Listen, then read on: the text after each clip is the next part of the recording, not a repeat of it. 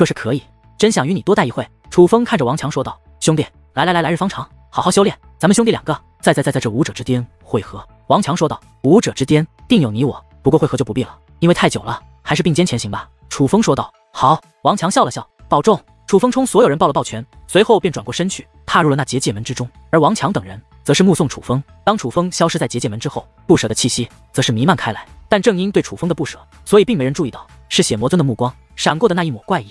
踏入结界门之后，楚风并没有立刻回到大千上界，而是进入了一个结界隧道之中。结界隧道内，楚风忍不住去思考关于是血魔尊这个从远古时期而存活下来的怪物，依旧让楚风不安。但同时，楚风又忍不住去想。是血魔尊对他所说过的话，是谁封印了邪神剑？是谁做出了帮助自己的事？还有是血魔尊所说的自己身上的阵法，又是怎么回事？楚风想要得到问题的答案，必须仔细回想他所经历的事情。难道是父亲？忽然，楚风想到了一可能：当初还在百炼凡界的时候，楚风运用邪神剑，导致自己险些被邪神剑吞噬。当楚风醒来的时候，自己不仅伤愈，邪神剑便从此没了声音。若非要说邪神剑是被封印了，那么在楚风昏迷的期间，应该便是唯有的可能。尽管楚风处于昏迷状态，但他恍恍惚惚间。却看到了自己的父亲。本来楚风以为自己是在做梦，因为那个画面实在是太不真实，更像是一个梦境。但此时楚风不得不去怀疑，那到底是梦境还是真实发生的？毕竟愿意帮助他，又有能力帮助他封印邪神剑的这个人，他的父亲都符合。说好了让我历练，结果还是在暗中帮助我吗？尽管还无法确定，但楚风的嘴角还是不由得扬起了一抹暖暖的笑容。此时他打心底就已经默认，就是他父亲帮助他封印的邪神剑。至于那是血魔尊所说的自己身上的阵法。楚风便不知道到底是怎么回事了。后来楚风也问过是血魔尊，可是血魔尊却说，既然对方不想你知道，他便也不说了。所以楚风只能猜测，所谓的阵法应该也是与自己的父亲有关，只不过具体是怎样的阵法，楚风却不得而知。结界隧道再长，也终归有个尽头。当楚风回到大千上界之后，发现不仅仅楚氏天族族长和楚宣正法在，黎若初、孔田慧、夏雨儿，许多人都在等待着自己。看到楚风归来，那担心楚风的众人顿时喜笑颜开。不可避免的，他们也询问了。楚风去了哪里这件事，楚风只是说自己落入了结界隧道之中，而从结界隧道出来之后，便出现在了这里。楚风没有说实话，其实是为他们好，但同时也是想摆脱不必要的麻烦。倘若楚风说他和是血魔族的人进入了一个独立的空间，在那里面见到了是血魔尊，还帮助了是血魔尊，定然会有许多人来不停的询问，甚至可能会有人对自己和楚氏天族的族人出手，那可就真是给自己招惹到心浩烦了。而从众人口中，楚风也是得知虚空神树消失之事。其实对于这件事，楚风倒没有太多惊讶，毕竟他已是知道。那参天大树不过是假象，真正的虚空神树是那个小女孩，而那小女孩如今就在自己的体内。短暂的闲聊之后，楚风并没有回到楚氏天族，毕竟他答应了孔田慧要跟他去神体王城一趟。本来楚氏天族族长还想同随，但孔田慧却强烈反对，说什么非要和楚风来一个二人世界。但其实楚氏天族族长以及大家都明白，神体王城是什么地方，那可不是任何人都能去的地方。尽管如今的楚氏天族族长在楚风那修炼至宝的帮助下，已是尊者巅峰，可尊者巅峰。在其他势力眼中，也许是很强的存在，但神体王城未必放在眼中。毕竟在那等势力之中，尊者巅峰的高手实在太多了。再加上神体王城本来就是隐士状态，除了祖武龙城和妖族圣城外，很少和其他势力打交道。这么多年以来，都是谁的面子也不给。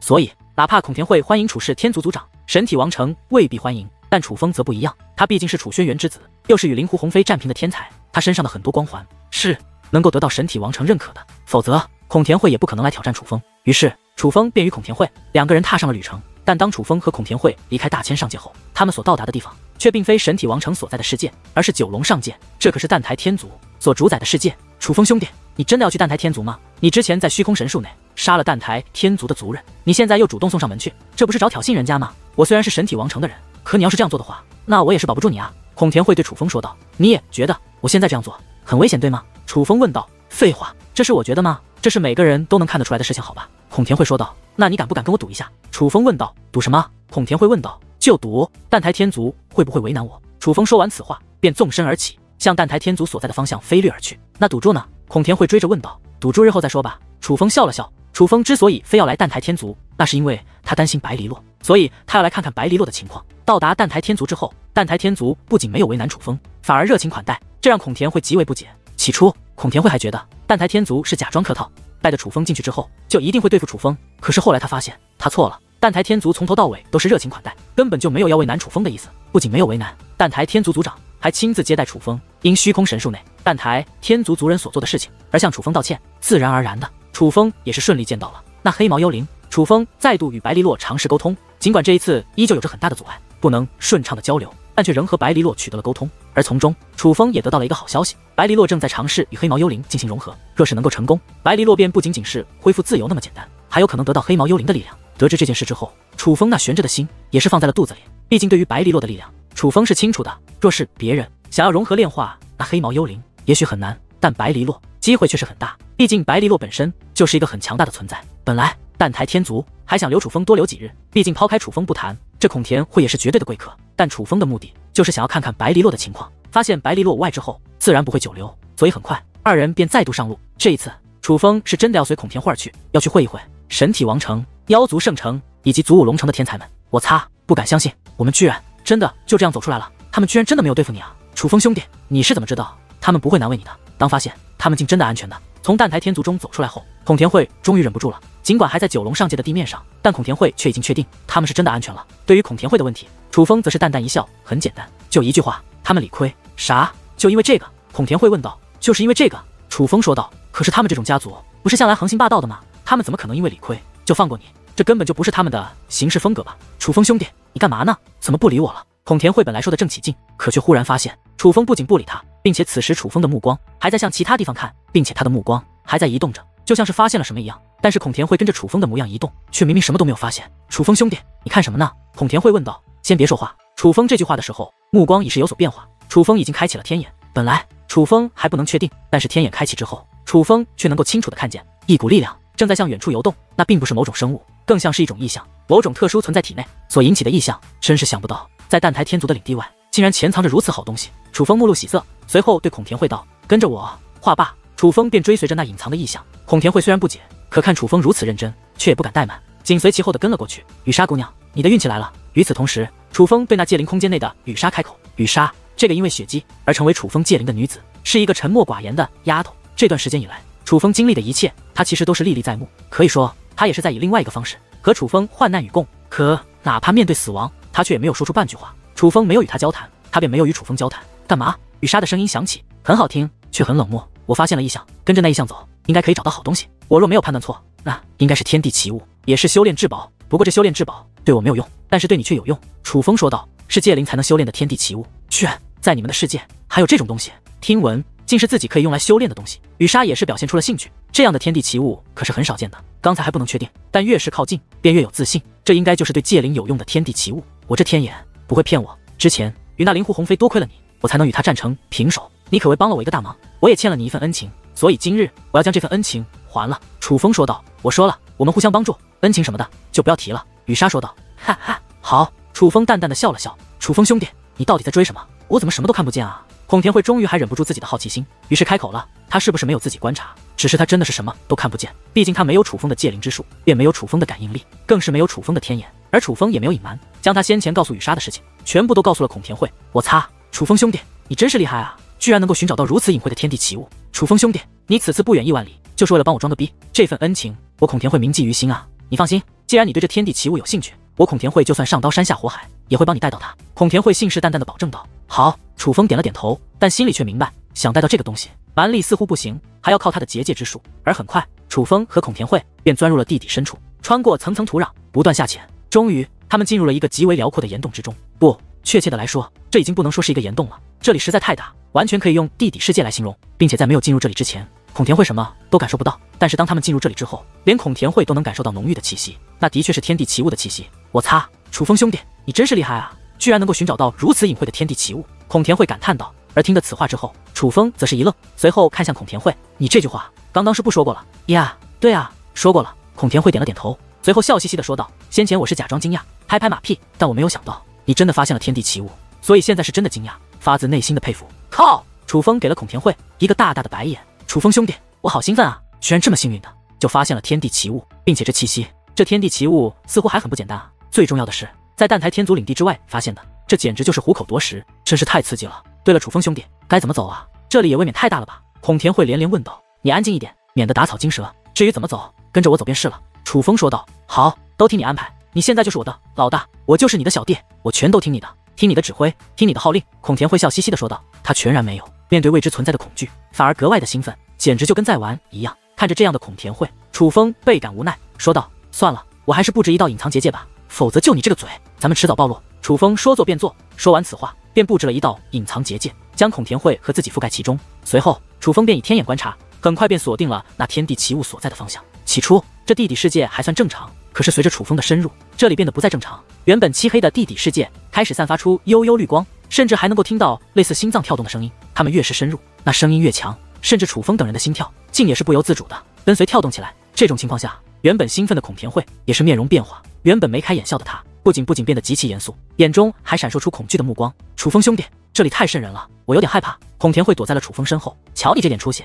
放心，有我在，不要怕。戒灵师是干嘛的？你忘记了吗？戒灵师专治这些邪祟之物。楚风说道。楚风兄弟，那我可就靠你了，我还没活够呢，我还是处男呢。孔田慧说道。就你还处男？楚风一脸不信。我今天还是处男。孔田慧说道。擦，你给我滚！楚风真想在孔田慧的脸上狠狠打上几拳，这个家伙实在是太不要脸了。楚风二人继续前行，在这地底世界内出现了一个岩洞，那诡异的绿光正是从那岩洞之中传来的。楚风二人顺着这岩洞前行，岩洞竟然越来越宽阔，很快便走到了尽头。那尽头处似是一个悬崖。我的妈呀，那是什么？可就在这时，孔田慧发出了一声尖叫，因为在岩洞的尽头处出现了一个身影，那是一个背影，一个女子的背影。她身穿一袭红色长裙，留着一头长长的黑发。她背对着楚风二人，又在幽幽绿光的照耀下，显得极其诡异，的确是有些骇人。不仅仅是王强吓了一跳，看到这女子的时候，楚风也是心中一紧。楚风一路追随那天地奇物的气息而来，但这途中却根本没有感受到眼前女子的气息。尽管天地奇物的气息就在附近，但楚风却能够确定眼前的这名女子并不是那天地奇物，所以楚风对于眼前这名女子也是充满了警戒。我的乖乖，现在的天地奇物都这么吓人了吗？竟然是女鬼的样子，太可怕了，太可怕了！孔田慧吓得瑟瑟发抖。忽然。一阵诡异的叫声自四面八方传来，那原本背对着楚风二人的女子也是望向他的右边。此时，女子的侧脸也是浮现在了楚风二人眼前。尽管只是侧脸，但就连楚风的目光也是有所变化。明亮的眼眸，长长的睫毛，高挺的鼻梁，完美的红唇，美。这个女子当真是极美，而她的眉心处还有一个红色的印记，更是让她看上去格外的与众不同。原来不是女鬼，而是美女。看到女子的面容之后，孔田慧大嘴一张，哈喇子都快流了出来。他竟然一个箭步踏出，向那女子跑了过去。而当孔田慧穿透楚风布置的结界之后，那女子便立刻察觉到了孔田慧，看向了孔田慧的同时，发出了一声怒喝：“退下！”可是紧接着，那女子竟然身形一纵，拔空而起，紧随其后，那刺耳的咆哮响彻开来。一个庞然大物自岩洞下方的悬崖猛然出现，那是一只类似鲸鱼一般的物体，它浑身透明，散发碧绿色的幽光，但此刻却是张开了大嘴，咬向了那名女子。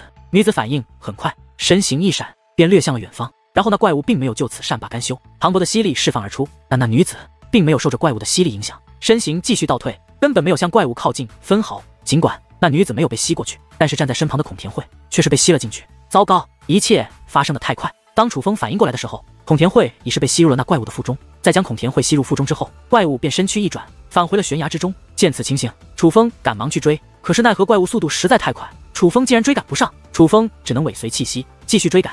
最终来到了一片大海之前，浪声滔天，无边无际。这片位于地底世界的大海很是诡异，因为那不是寻常的海水，那是毒水，是由毒液汇集而成的大海。这下可糟了，孔田慧该不会就这样被吃了吧？楚风眉头紧皱，脸上有着无法掩饰的担忧之色。那是你朋友？可就在此时，那女子的声音忽然响起，回头观望，那穿着红裙的绝色美女就站在楚风的身后，无声无息。楚风竟然没有丝毫的察觉，你看得见我？楚风很惊讶，毕竟此时楚风的周围仍旧覆盖着那隐藏自己的结界之力，但那女子的目光却只是楚风，多半是可以看得到楚风。女子没有回答楚风这个问题，而是直接说道：“你想救他吗？”想。楚风点了点头，与此同时，大袖一挥，那缠绕在周身的隐藏阵法便就此消散。此时楚风已经确定那女子能够看得见他，而既然对方能够看得见他，这隐藏阵法便没有必要了。若想救他，与我合作。”女子说道。“好，怎么合作？”楚风问道。“我将他引出，你用阵法控住他。既然是圣袍界灵师。”这难不住你吧？女子问道。抓到他怎么分？楚风问道。一人一半。女子说道。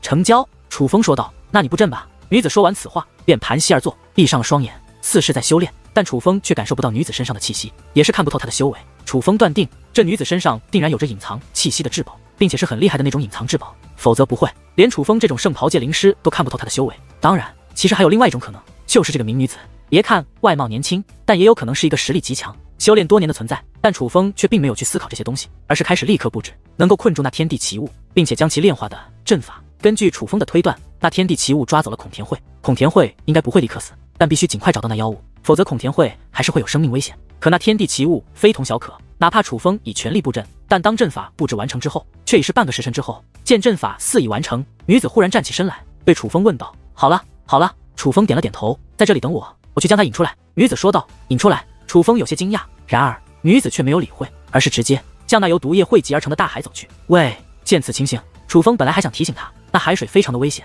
可却看到女子掌心自乾坤带划过后，一张符纸出现在了他的手中。楚风看得出来，这符纸应该是一张守护符，并且是很厉害的守护符。果不其然，女子手捏符纸，符纸便化作红色的气焰，红色的气焰四散开来，化作屏障。将女子缠绕于其中，紧接着女子便跳入了海水中。丫头，那天地奇物有些厉害，等一下可能需要你帮忙。楚风对雨莎说道。好，雨莎回道。紧接着，楚风便严阵以待，等待着那女子将天地奇物印出来，好运用阵法对其发动致命攻势。可没过多久，那原本平静的海绵便开始滔天巨浪，浪潮越来越凶，宛如万千妖物在海中跃跃欲试。猛然间，一道巨浪冲天而起，那天地奇物便再度出现。因为那天地奇物乃是透明的，所以楚风看得到。孔田慧还在那天地奇物的腹中，呼吸还在，身体也完整。孔田慧虽然处于昏迷，但并无大碍。这女子，但很快，楚风又发现那名红衣女子居然在那怪物的身后，而那天地奇物所化的怪物不仅发出阵阵低吼，那眼中更是涌现出了惊慌与恐惧。他是在逃，因为他所恐惧的乃是那名红衣女子。虽然不知道那名女子是如何做到的，但眼下那天地奇物的确是在落荒而逃。那名女子哪里是把天地奇物引来，这分明是在把天地奇物强行赶过来。此时，楚风忍不住去想，这名女子到底是何境界，竟有着如此本事？丫头，似乎不用你帮忙了。楚风对雨莎说道。也好，雨莎应道。哀嚎连连，在女子的催赶之下，那天地奇物已是落入了楚风所布的大阵之中。入阵之后，这天地奇物便开始发出惨叫，因为这座阵法是专门针对他的，可以将其炼化。这天地奇物开始奋力挣扎，甚至快要逃出大阵。这也是为何楚风之前说需要雨莎帮忙的原因，但是现在却不需要了，因为有那名女子在。那女子一掌轰下，那已经逃出一半的天地奇物。便被硬生生的给打回了阵法之内。在此之后，那天地奇物更是没有机会逃出阵法。刚刚逃出一点，便会被那女子的力量给打压回去。如此之下，那天地奇物的身体开始被炼化、分解，化作气焰于那大阵之内。最终，那巨大的天地奇物便被楚风的阵法彻底炼化，只剩下一团气焰盘踞于大阵之中。那女子什么话都没有说，而是取出一个红色的葫芦，开始收取那些气焰。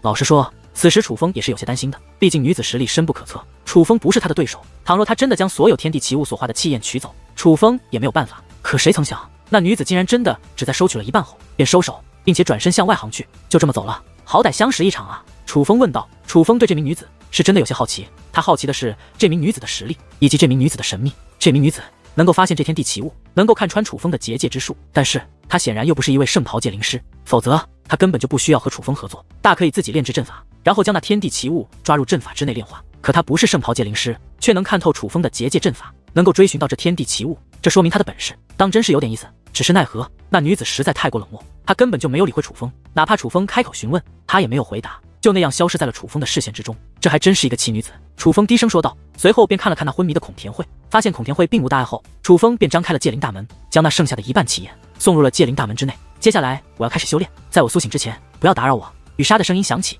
好，楚风应道。随后，楚风能够看到雨莎如女王大人一般坐在界灵空间之内，开始炼化那气焰。楚风能够看到界灵空间内的所有景象，也能够看到女王大人看着那仍在闭目修炼的女王大人。楚风的心中有一点点不是滋味。女王大人闭关修炼已是有些时日了。楚风从九州大陆小小的青州走出，游离九州大陆，进入东方海域，五只圣土，白练凡界，大千上界，一直都是女王大人陪伴左右。这么多年来，早就成为了无法割舍的习惯。尽管如今女王大人还在他的界灵空间之内，但无法与之交谈。无法见证楚风的经历，楚风何止是不习惯，而是心酸。倘若女王大人醒着的话，楚风刚刚所炼化的天地奇物也不会给雨莎，定然是要给女王大人的。毕竟若说欠，在楚风看来，可能他最亏欠的便是女王大人了。我的蛋蛋，你要何时才能苏醒啊？就那么一块石头，真的有这么大的能量，需要你修炼这么久吗？以楚风的观察力，看着女王大人那气色红润的样子，当然知道女王大人并没有事情。女王大人就只是在修炼而已。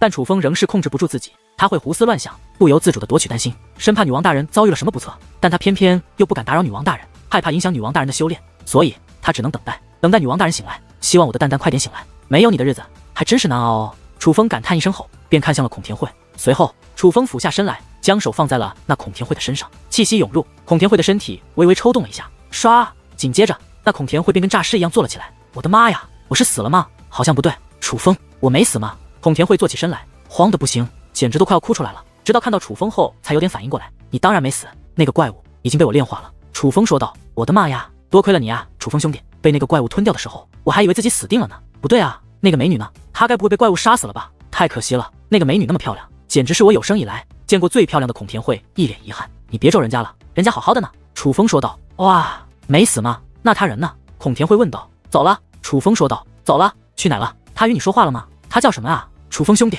告诉我呀。孔田慧接连问道。看来他对那个女子非常的感兴趣。然而楚风却什么都不能告诉孔田慧，因为他对那个女子也是毫不了解，甚至连话也只是说过几句罢了。随后，楚风便与孔田慧便继续赶路，但是他们并没有前往神体王城，而是前往了一个名为神兵庄园的地方。楚风兄弟，有件事我需要告诉你。那神兵庄园是我们小辈聚会的地方，但却不仅有我神体王城、妖族圣城和祖武龙城的小辈。尽管我们三城乃是退隐状态。可这祖武星域毕竟是星域主界的地盘，所以我们也会象征性的邀请星域主界的小辈参加。因此，你此次也会见到无名元志和无名雄魔。孔田慧一脸得意的说道。可楚风却是问道：无名元智和无名雄魔是谁？我靠，你不会连他们两个都不认识吧？孔田会张着大嘴看向楚风，介绍一下吧。楚风笑着说道：楚风兄弟，你可真是人才啊，居然连他们两个都不知道。罢了罢了，我就与你介绍一下吧。这无名元智和无名雄魔乃是星域主界最强的天才，他们两个的实力可是不弱于灵狐鸿飞的，只是因为比较低调。不对。并不是低调，而是太过高傲。高傲的他们很少在大众面前露面，也因为菏泽一点，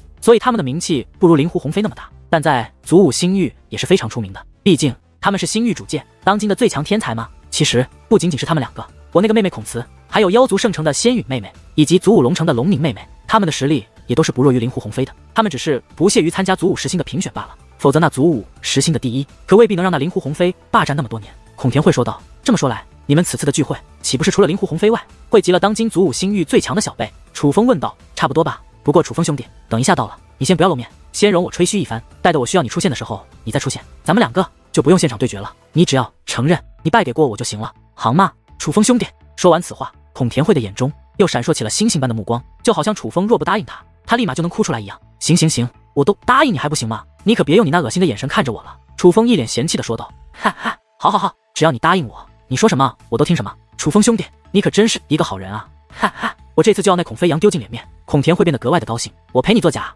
欺骗人家，其实你是胜之不武，所以你还是收敛一点，不要太过分的。好，楚风说道。行，依你。孔田会笑嘻嘻的说道。而在经过一番赶路之后，楚风和孔田会也是来到了那个神秘的神兵庄园。说是一个庄园，可此地之大，简直就是一个国度，山川江河应有尽有。而至于宫殿，更是数不胜数。别看神兵庄园如此之大，但却是私家重地，除了三城和星域主界的人外，都不得擅入。并且这神兵庄园看似无人把守，实际上却有至尊巅峰的强者坐镇，外人莫说闯入，只要是靠近，那都是惹了大祸。不过有孔田慧在此，楚风等人却是很轻松的便进入了神兵庄园。进入神兵庄园之后，孔田慧便轻车熟路的前往到了其中一座花园之中，而楚风虽然也是紧跟着，却并没有露面，而是用隐藏阵法将自己隐藏了起来。所以楚风就在孔田慧的身后，自然而然的，楚风也可以看到花园中的情况。花园内聚集着三成的不少天才，从他们那不同的穿着打扮上，以及他们腰间的令牌上，楚风可以分别的他们的身份。不过，楚风却觉得那里面应该没有孔田慧所说的三城之花，也就是孔慈、仙云、龙宁三个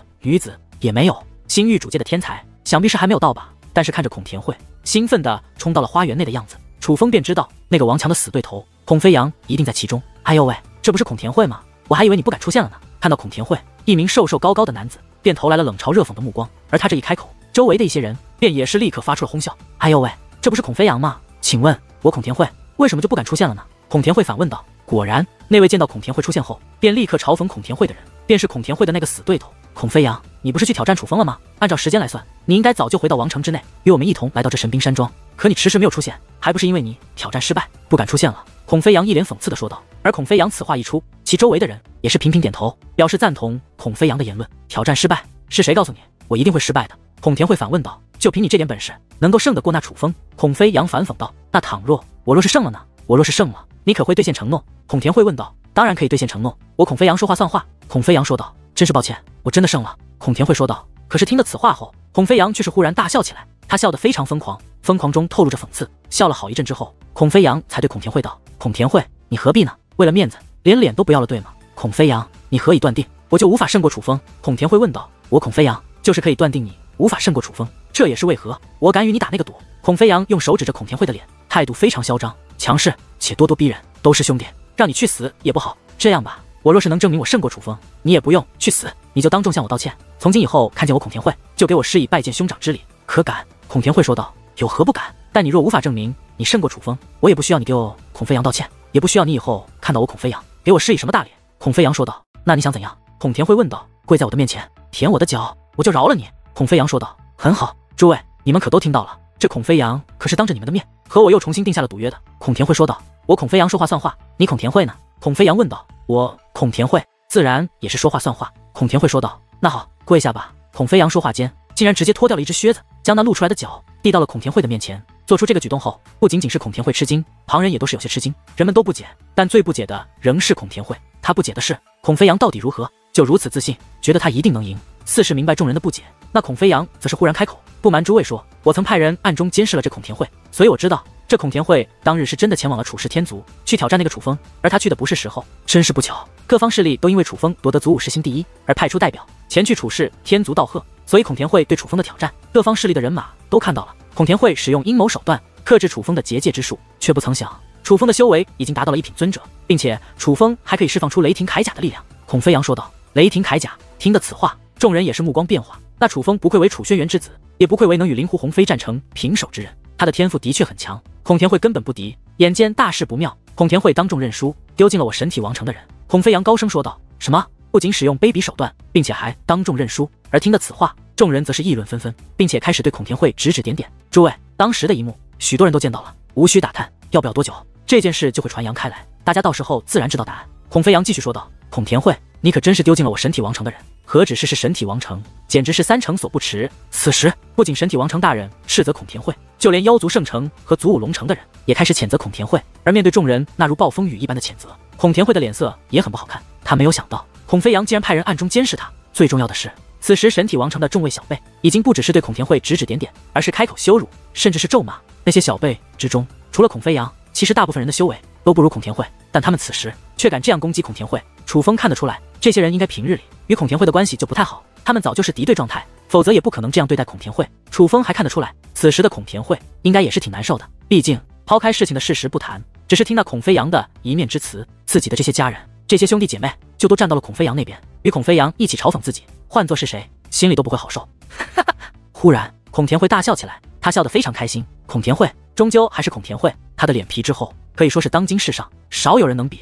所以，哪怕心里会难受，却也绝对不会因为这点小事。而被击垮，你笑什么笑？还不兑现诺言？跪下！星号，孔飞扬指着孔田慧怒喝道：“对你个丢尽我王城脸面的废物，跪下！跪下！快跪下！”紧随其后，在场的许多小辈纷纷开口说道：“我笑什么？我笑你们太无知！”孔飞扬，你说的很对，当日我的确败给了楚风，但我可以告诉你，后来我与楚风私下又有一场对决，而那场私下的对决，则是我孔田慧胜了。孔田慧说道。可是孔田慧此话一出，却是换来了众人的哄堂大笑。他们不仅不相信孔田慧，反而……还用看待傻子一样的目光看着孔田慧。孔田慧，你与孔慈妹妹乃是同一个娘亲，为何她那样优秀，而你却如此的垃圾？如你这样的垃圾，真的不只是丢尽我神体王城的脸面，而是丢尽了我三成的脸面。紧接着，众人对孔田慧又是一轮新的挖苦与侮辱。尽管大部分攻击孔田慧的都是神体王城的人，可是妖族圣城以及祖武龙城的那些人，却也都是冷嘲热讽，说：“你们继续说，等一下就有你们哭的时候。因为我孔田慧，有人可以给我作证。”孔田慧说道：“作证？不是私下对决吗？怎么又有人给你作证了？看。”自己撒的谎，自己都圆不上了。众人又是一番嘲讽。楚风，我可以叫楚风来给我作证。孔田慧说道。什么？楚风？你要是能把楚风叫过来给你作证，说他败给了你，那我就去吃屎，我也吃，我也敢吃。哈哈，众人笑得更开心了，甚至不惜说出他们敢吃屎这种恶心的话。不过他们敢这么说，也是充分证明了他们对孔田慧的不信任。很好，这话可是你们说的，吃屎的那几个，我孔田慧记住了。孔田慧说完此话，便抬起手来，啪的一声打了一个响指。楚风兄弟。该你了。而他此话说完，以隐藏结界隐藏自己的楚风，便解开那隐藏结界，将自己的真身在众人眼前。在下楚风，见过诸位。楚风上前说道。看到楚风的那一刻，所有人都是神色大变，脸色变得非常难看。他们显然都没有想到，孔田慧竟然真的请来了楚风。正因为没有想到，所以他们很快便确定这是假的。孔田慧，你可真够无耻的，居然找人来假冒楚风。为了一场赌约，你可真是连做人的底线都不要了。紧接着，众人对孔田慧又是一轮羞辱。假的吗？楚风淡淡一笑。随后意念一动，不仅磅礴的结界之力释放而出，就连九龙圣袍也是隐隐作现。看到这一幕，众人则是傻眼了。其他的可以伪造，可以是这圣级结界之力，谁能伪造？真的，此时此刻出现在他们面前的这个楚风，竟然是真的，他竟真的是楚轩辕之子。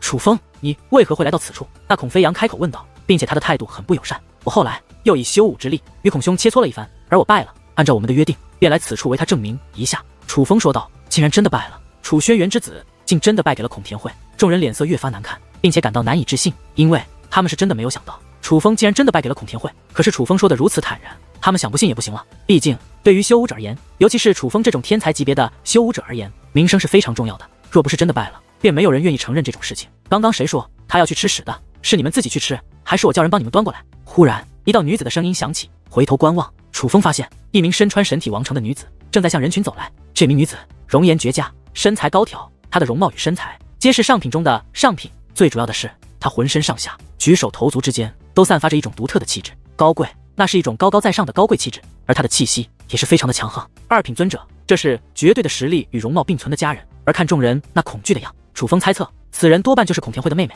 孔慈。孔慈妹妹，我们那个只是玩笑话。有人笑嘻嘻的说道：“对我们是开玩笑的。”紧随其后，其他人也是纷纷笑着开口，那副嘴脸与见到孔田慧的时候完全是天地之别。而此时，楚风也是得以确定，这名女子的确就是神体王城的最强小辈孔慈。玩笑话，你们当我刚刚没看到？孔慈冷冷的扫了一眼，这个众人吓得脸色惨白，许多人冷汗都流了下来。看得出来，他们真的很怕孔慈。算了算了，都是自家人，总不能真的让他们吃屎吧？在众人为难之际，倒是那孔田慧站了出来。这一幕，连楚风都感到意外。毕竟先前那些人是那样的咄咄逼人，连楚风都觉得。哪怕是欺骗，也应当给予他们一些教训。正因如此，楚风才对眼前的一幕而感到惊讶，但同时也让楚风对孔田慧有了新的看法。看来这个家伙与想象中的倒也是有些不一样。不过孔飞扬，你可要记住了，以后看着我，你可要施以大礼，听到了吗？孔田慧指着孔飞扬说道。孔飞扬不仅没有理会孔田慧，反而咬牙切齿，脸上挂满了不爽。我哥问你话呢，你聋了？一声怒喝响起，正是孔慈。孔慈这一嗓子吼出来，莫说那孔飞扬，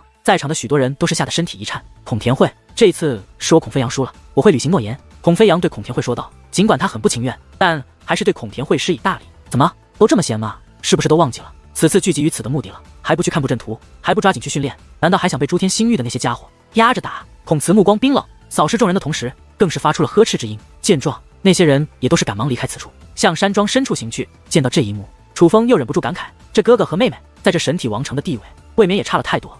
最不能理解的是。尽管不如其妹妹孔慈，但明明孔田慧的实力也不弱呀。不过对于这一切，孔田慧显然是早就习惯了。看来那些人对他这个样子，也不是一天两天的事了。哥，你怎么这么怂？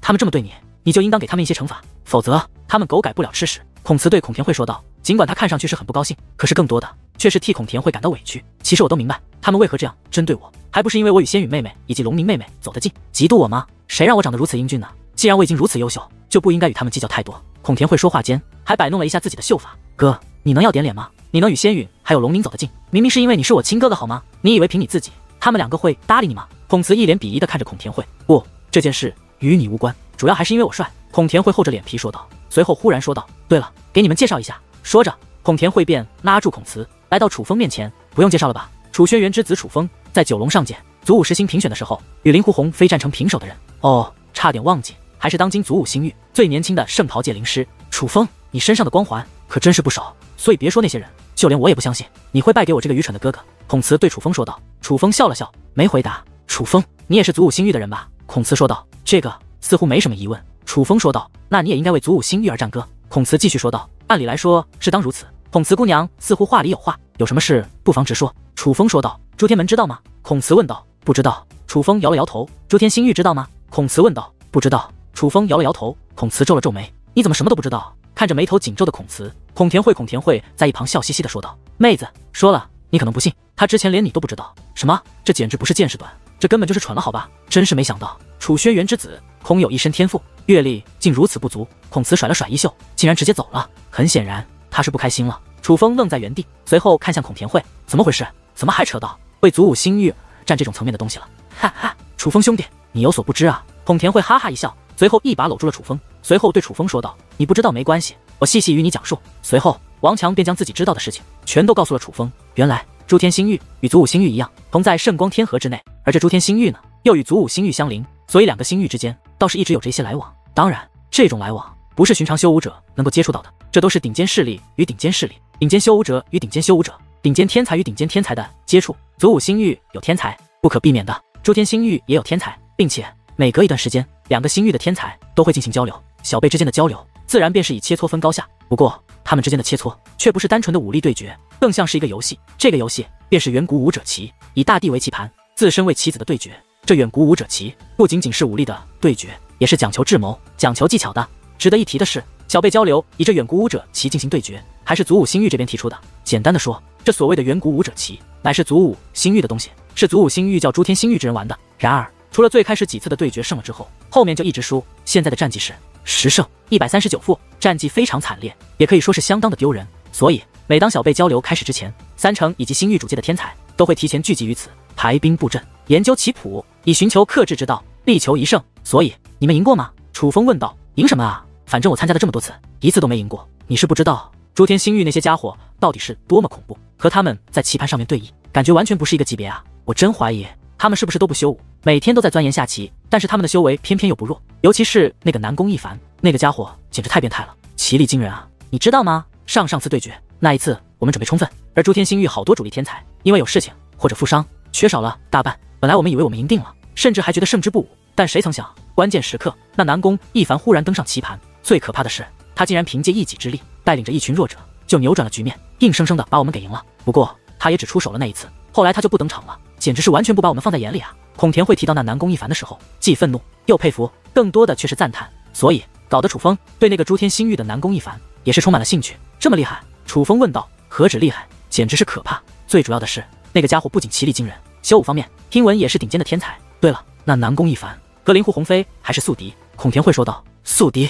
楚风问道。的确是宿敌，他们曾私下对决过多次，不过他们两个的战绩如何，则是没人知道。同样的。南宫一凡修武方面的真实水平也没人知道，因为他只与灵狐鸿飞对决，从来不和我们对决。哪怕我妹妹他们挑战他，他也从来不应。说白了，就是不把我们放在眼里。孔田会说道：“那这个人还真是够狂的。”楚风说道：“的确是狂，但也有狂的资本。其实早在很早之前就听闻过，他不仅修为厉害，下棋也厉害。本来我们还不信，但是那一次他出手之后，真是不服都不行。人家确实厉害啊！所以说，我就总劝我妹妹他们，劝他们没必要研究什么棋谱，更不用排兵布阵。反正诸天星域有那南宫一凡在。”我们是不可能赢的，孔田慧说道。照你这样说，那南宫一凡每次都会来？楚风问道。当然了，虽然他几乎不出手，但却次次都会出现。他就是诸天星域的王牌，是我们无法战胜的王牌。只要有那南宫一凡在，我们真的是一点机会都没有。孔田慧这话是认真的，从他的神态就看得出来，他是真的已经不对这件事抱有希望了。不是他没有志气，而是真的被人打到绝望的那种。孔兄，可否带我去看看棋谱吧？楚风说道。对于这所谓的远古武者棋，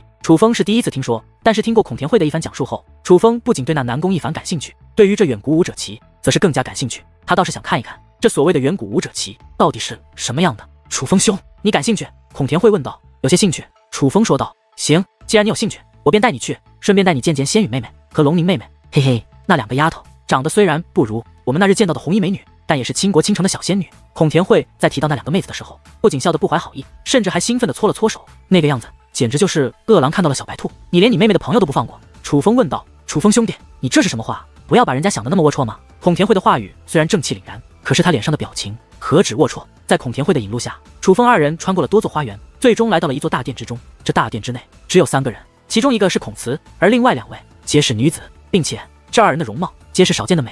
从美貌来说，可以说是毫不逊色于孔慈，想必他们便是孔田惠一直提起的仙允和龙宁了。这三个女子在一起，可以说是各有各的美。从气质来讲，孔慈高贵，仙允这是人如其名，仙气十足。至于龙宁，她的样子更像是一个少女，精致的脸庞洋溢着阳光的气息，非常的可爱。来了，那个愚蠢到连咱们三个都没听过的家伙。孔慈看到楚风进来，便对仙允和龙宁说道。而其实早在楚风进入的第一时间，那仙允和龙宁就已经在打量楚风了。祖武龙城，龙宁见过楚风哥哥。龙宁来到楚风身前，对楚风施以一礼。这个丫头不仅长得可爱，声音也是甜美，最主要的是非常的有礼貌，给楚风的第一印象非常的不错。妖族圣城，仙云。紧接着，那仙云也是主动来与楚风打招呼。相比于开朗的龙宁，这仙云则是非常的温柔。楚氏天族楚风见过两位姑娘，见状，楚风也是赶忙回礼。其实此刻，楚风的内心是有些意外的，他没有想到，如龙宁和仙云这样的天才，竟然如此的有礼节，至少在他们的身上，完全没有看到其他天才的高傲与自负。楚风哥哥，你决定和我们一起？玩那远古武者棋了吗？龙宁笑着问道。如孔慈姑娘所说，身为祖武星域之人，应当出一份力吧。不过你们是主力，我就给你们打打下手就好了。楚风说道。楚风哥哥，我相信你的天赋。龙明说道。楚风公子，若是你有兴趣的话，先看一下规则吧。另外，这里还有一些棋谱，你也都可以看一下。仙允将几个卷轴递给了楚风。第一个卷轴是讲述远古武者棋的下法以及规则的，剩下的几个卷轴则是层次不同的棋谱。而楚风看了一下那讲述规则的卷轴后，也是知道了这远古武者棋大致的玩法。远古武者棋的棋盘类似一个山峰，分为三重，这三重也就代表着三种级别。不过三重山峰也是有着不小的差别。第一重对棋力的要求很低，所有人都可以登上。第二重对棋力的要求便开始提高，若是无法掌握足够的棋力，是那无法登上第二重的。而想登上第三层，毋庸置疑，对棋力的要求则是更加的严格。至于棋力，进入棋盘之中便可以获得棋力，但获得的棋力有限。若想增加棋力，可以通过击败对手、吞噬对手的棋力来提升自己，也可以通过特殊的方法来吸取棋盘中的棋力。但棋力越高，需要的掌控力也越高。若是掌控力不足，却不停的增加棋力，便会被棋盘排斥，也就是出局。虽然棋力是越高越好，但对掌控力则是要求极高。可哪怕一个人拥有极强的掌控力，能从容运用棋力，但也未必就能获胜。想要下赢那远古武者棋，最重要的还是配合。这不是一个人的对弈，一个人再强也很难获胜，因为三众山峰必须所有山峰全部登顶才能获胜。而一个人就算再强，能偶以一己之力击败对手，但也只能登顶一座山峰。而如何能够以团队的力量？击败对方，这就涉及到了布阵，而阵法该如何布，棋谱之中自然便有记载。所以了解了基本规矩之后，楚风便看向了棋谱。他觉得掌控棋力虽然重要，但了解战术却更为重要。而此时，一个名为《棋法破万军》的棋谱引起了楚风的注意。这个棋谱是以奇招出击，往往会让对手出其不意。相对于其他棋谱，这个棋谱更有意思。这样的棋谱更适合楚风的胃口。楚风，你这就过分了！你一个初学者，居然看最深奥的棋谱。孔慈一脸挖苦的走了过来，而孔慈这一开口。其他几个人也都凑了过来。楚风兄弟，你别看这个棋谱了，这个棋谱根本就不管用。孔田会说道：“这不是最高级别的棋谱吗？”楚风反问道：“这个骑兵破阵棋谱上面的确标识着，这是棋谱中级别最高的一个。”楚风兄弟，你相信我，这棋谱虽然是级别最高的，但也是难度最高的。我们尝试过按照上面的方法和朱天星域的人对弈，可是结果狗屁不通，被对面打得落花流水，输的那叫一个难看。孔田会说道：“楚风哥哥，还是换一个吧。棋谱这个东西，以精为主，不是级别高就一定厉害。”哪怕是诸天星域的那个棋力天才南宫一凡，他所使用的战术也只是终极棋谱排兵谱。但是我听闻他也是在有高人指点，又研究许久之后才能研究到极致的。而你这个棋法破万军，就真的太难了，不适合你的。龙宁也是说道：“要我说，你就根本不用看棋谱，还是专心看看怎么掌控棋力吧。棋谱这种东西你也用不到，反正大家也不会听你的。我们现在乃是由仙云姐姐来指挥的。”孔慈说此话的时候，看向了身旁的仙云。仙云姑娘是指挥使。听闻孔慈的话后，楚风也是有些惊讶。本来楚风还以为。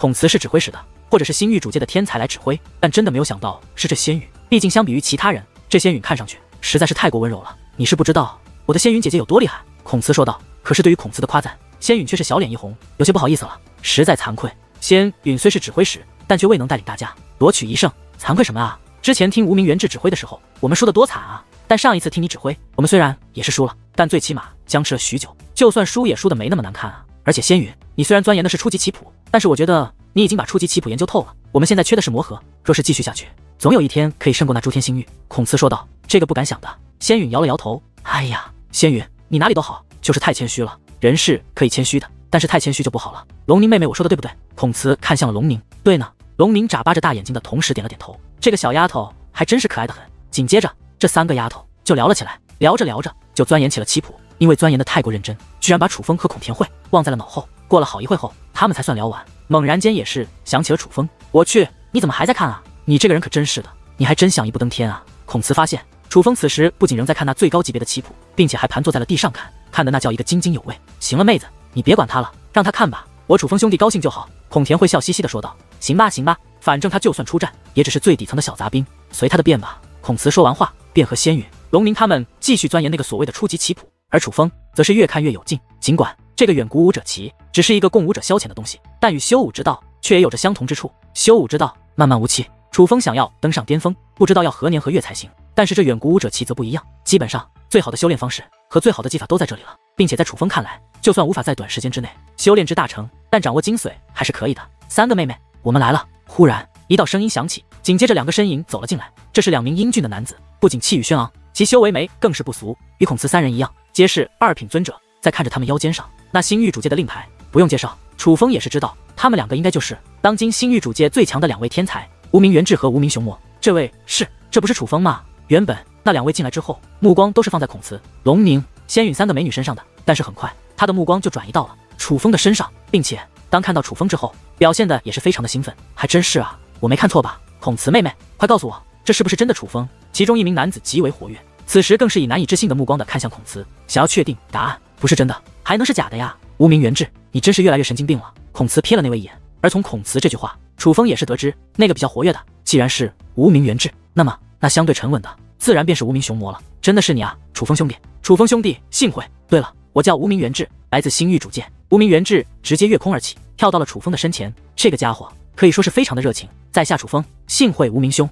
楚风也是立刻起身抱拳说道：“在下无名熊魔。”无名熊魔也是走到近前，幸会幸会。楚风赶忙回礼：“楚风兄弟，我这个人直性子，我就直接说了。听闻你的戒灵之术很厉害，你的戒灵也很厉害，我早就对你充满了兴趣。老实说，对于祖武十星的其他人，我是没兴趣的。但是你的本事，我想领教一下。”无名元志说道：“实在抱歉，我的戒灵现在在修炼，无法与你切磋了。若是无名公子真想与我切磋，不如改日吧。”楚风说道：“楚风兄弟，你这就是不给我面子了。”然而，尽管楚风彬彬有礼，可那无名元志原本笑嘻嘻的脸却立马变得难看起来。这家伙乃是真正的变脸比翻书还快，真的不是？楚风说道：“楚风兄弟，你若这样，那便是在逼我了。”无名元志的目光变得凶狠起来。若是不信，我也没有办法。面对这样的无名元志，楚风的脸色也是变得冷漠。他丝毫不畏惧动怒的无名元志，反而大有一副你爱怎么样就怎么样的架势。哼，真是敬酒不吃吃罚酒，这可是你自找的。无名元志说话之间，直接一拳轰出，正对着楚风的胸口便轰了过来。一拳击中，楚风倒退数步，但楚风却并未负伤。一层光芒体挡在了楚风的周围，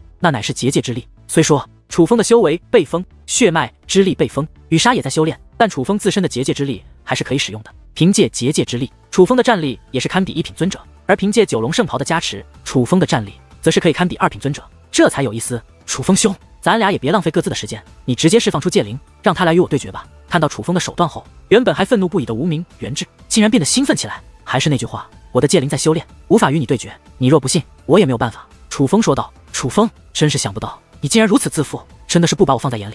你是觉得我不配做你的对手，是吗？无名元志冷声问道。看着这样的无名元志，楚风也是倍感无奈。这个家伙。真的是变脸比翻书还快的主，说怒就怒，说笑就笑。一会要打楚风，可出手后不仅满面笑意，还称呼楚风为楚风兄。但转眼间又是满脸的怒色，用阴晴不定来形容这无名元志，简直是再合适不过。我说的乃是实话，绝非是看不起你。楚风说道。很好，既然如此，那我就打到你释放戒灵为止。那无名元志明显不相信楚风的话，所以他再度向楚风发动了攻势，并且还运用手段提升了修为。他的修为是二品尊者的时候，楚风还能与他抗衡。但是当他的修为提升到三品尊者的时候，楚风便难以抗衡了。一拳击中，楚风倒飞而去，狠狠地撞在了墙壁之上，强大的冲击力撞得整个大殿都是剧烈一颤，而楚风的嘴角更是流出了鲜血，还不肯放出戒灵。无名元志再度问道：“楚风没有说话，只是轻哼一声。”楚风，那你就别怪我下狠手了。那无名元志说话间，身形一动，便再度来到了楚风色身前，抬起手来，对准楚风的面门，一拳便砸了下去。先前那一拳他还有留手，可以说只是试探，但是这一拳可就不同了。他这一拳砸下来。楚风就算不死，那也是要重创的。然而就在这一拳即将砸中楚风面门之际，忽然一只手出现，抓住了无名元志举起的拳头。是无名熊魔元志，够了！无名熊魔说道。不仅仅是无名熊魔，此时孔慈、龙宁，包括仙羽，都出现在了楚风身旁。看那架势，就算无名熊魔不拦着，他们三个也会拦下无名元志。无名元志，你过分了呀！人家楚风不想和你打，你干嘛非要逼人家？孔慈柳眉倒竖，狠狠地斥责道：“元志哥哥，你这样真的不好。”就连龙宁也是撅起了小嘴。无名元志。真是给你脸了！我楚风兄弟连令狐鸿飞都能战成平手，你以为你真是他的对手？你有本事去挑战令狐鸿飞啊！你能行吗？你你敢吗？你而孔田慧相比于孔慈，更是直接开骂，有你说话的份吗？你算什么东西？吴明元制止着孔田慧说道：“干什么？你再说我哥一句试试，看我不撕烂你的嘴！”见到自己的哥哥被训斥，孔慈也是不甘了，直接将自己的气息释放而出，还运用天赐神力将修为提升到了三品尊者。行了，大家都消消火，如今大敌在前。咱们不想着如何应对，难道还要内讧吗？无名熊魔说道。切！无名熊魔开口后，众人虽然没有和解的意思，但却也没有继续恶化。楚风兄弟，抱歉了。无名熊魔对楚风说道。楚风擦拭掉了嘴角的血液，淡淡一笑，这才说道：“这个道歉不应该你说。”话罢，楚风的目光忽然变得冷漠，看向了无名元志。怎么，你还没完没了了？你不尊重我，还让我跟你道歉？无名元志怒瞪着楚风，尊重？你想要尊重是吧？可以，你可以等一等，回过头来，我会让你知道什么是尊重。楚风说道。楚风此时也是非常的不高兴，毕竟就这样无缘无故的被人打伤，换做是谁也都会不高兴。更何况楚风从来都不是一个吃亏的主。好，我等着，我倒是要看看一个靠借灵的人有什么嚣张的。无名元志一脸的讽刺，而楚风并没有再与他辩论。楚风愤怒的是他对自己出手，但并不会因为他的嘲讽而生气。毕竟经历过那么多事情，楚风的心性早就变得成熟。如无名元志这种低劣的挑衅，根本就无法勾起楚风的怒火。诸位小友，怎么这么吵啊？忽然，一位老者来到了门外。守剑大人，您怎么来了？看到这位老者，哪怕这些天才也是纷纷走上前去，主动施礼。老夫来，自然是有好消息。咦，这位小友，莫非是？忽然，那老者的目光投在了楚风的身上，苍老的眼中也是涌现出了一抹惊喜。楚风兄弟，我给你介绍一下，这位乃是神兵山庄的守护者，我们敬爱的守剑大人。守剑大人，我的这位兄弟可了不得，他就是在九龙上界击败祖武星域众小辈，并且与灵狐鸿飞战成平手的楚轩辕之子楚风。孔田慧一脸得意的介绍起楚风，还真是轩辕的儿子啊！真别说，仔细一看，与轩辕的模样还真的很像。确认这的确是楚风后，这位守剑大人也是变得格外热情。前辈，您认识我父亲？楚风问道。何止认识啊，当年你父亲也曾来过我这神兵山庄，而我神兵山庄最好的那把兵器尊兵火葬神枪，就是被你父亲拿走的。守剑大人说道。哇，守剑大人，您不是说最好的兵刃就是半成尊兵了？怎么还有过尊兵啊？此时在场的小辈都露出了好奇的目光。的确有过尊兵，不过被楚风小友的父亲拿走了呀。现在就只剩下半成尊兵了。守剑大人说道。对了，老夫今日来这里就是要告诉你们一个好消息，你们运气真的好，我神兵山庄的神兵墓地开启了。守剑大人说道。守剑大人，您说的是真的呀？听得此话，这些小辈们也都是变得兴奋起来。而从孔田慧的口中，楚风也是得知了关于这神兵山庄以及神兵墓地的事。神兵山庄内有着一件奇地，那便是神兵墓地。神兵墓地会不定时的开放，可能是几百年，也可能是几十年，也可能是几年。但除非他自己开放，否则休想进入其中。所以，它才是一处奇地。而这神兵墓地上一次开放，其实没过多去多久，不过是三年前而已。正常来说，神兵墓地是三年前开放的，下一次开放最起码也要五年。可现在居然开放了，这让人们很意外，所以才会如此的兴奋。毕竟对于他们来说，这也是意外的惊喜。当然。他们之所以能够这般兴奋，并不只是因为神兵山庄开放了，而是因为神兵墓地内的宝物。神兵墓地内有着无数把黑铁兵器，每个人进去可以拔出一把，拔出黑铁兵器之后，就会被神兵墓地内的力量带出神兵墓地，并且也必须在离开神兵墓地之后，那黑铁兵器才能够被震碎。碎裂之后，那被黑铁包裹的兵器本体，可能是一把珍贵无比的半成尊兵，也可能是一把根本没有用处的废铁。自然而然的进入其中，拿到废铁的几率最大，而拿到半成尊兵的几率最小。正常情况下，能够拿到仙兵就已经是运气极好的了。不过，因为有机会拿到半成尊兵，甚至是极品半成尊兵，最重要的是每次开启只有百岁以内的小辈才能进去。可以说，神兵墓地其实是专门为后辈准备的，所以哪怕这些并不缺少兵器的天才们，也都很喜欢进入那神兵墓地之中。至于这位守剑大人，也是身份特殊。其实现如今神兵山庄真正的传承者只有一个人，这个人便是这位守剑大人，但他并不是神兵山庄的主人，而是守卫神兵山庄的人罢了。不过，因为神兵山庄之前的庄主与三成关系极好。所以现如今的神兵山庄也乃是由三成来守护的。如今祖武龙城、妖族圣城、神体王城都派了高手守护这里，所以哪怕神兵山庄真正的传承者只有守剑大人一位，但也没有人敢来这里打搅。毕竟三成的面子连星域主界都要给，就更别说其他势力或者其他人了。不过其实守剑大人的修为也不弱，乃是一位尊者巅峰，实力不谈，只是特殊的身份，再加上他待人极好，所以哪怕是这些来自三城甚至星域主界的天才们，对他也是非常的尊敬。守剑大人，那。我们现在就可以进入神兵墓地了吗？孔慈兴奋地问道。诸天星域的小辈们也快来了吧？等他们来了，一起进去吧。守剑大人说道。别等了吧，守剑大人，他们乃是外人，这种好事咱们自己人享受就行了，总是带着他们做什么啊？孔田慧说道。田慧啊，这就是你的不对了。先不说我祖武星域与诸天星域本就交好，神兵墓地开启之后，待山庄上的所有客人都可以进入其中拔出兵刃，这也是祖上流传下来的规矩，岂能破坏啊？守剑大人说道。但是他们不是还没来吗？这也只能说他们运气不够好。孔田会说道。可他们也快来了呀。反正还有一些时间，就等一等吧。守剑大人说道：“行行行，这里您说的算。”孔田会甚是无奈。